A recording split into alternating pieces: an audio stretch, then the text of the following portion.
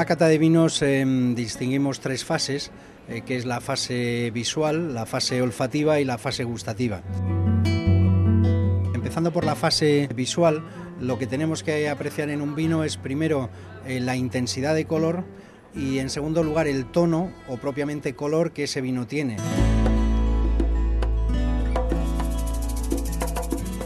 En cuanto a la fase olfativa, distinguimos dos fases que llamamos a copa parada y en copa tras aireación.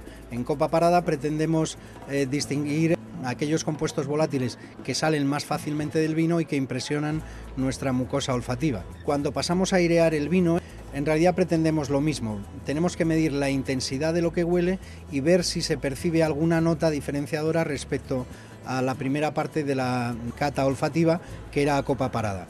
Es la fase donde se pueden apreciar más fácilmente los defectos de elaboración y se pueden apreciar detalles que a copa parada no se aprecian.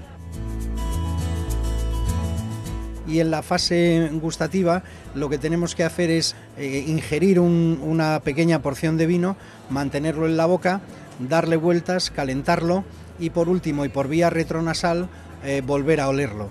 De manera que en la fase gustativa, una vez más, hemos de apreciar la intensidad del vino, si el vino es sabroso, potente, y intentar desmenuzar los distintos aspectos eh, que el vino tiene.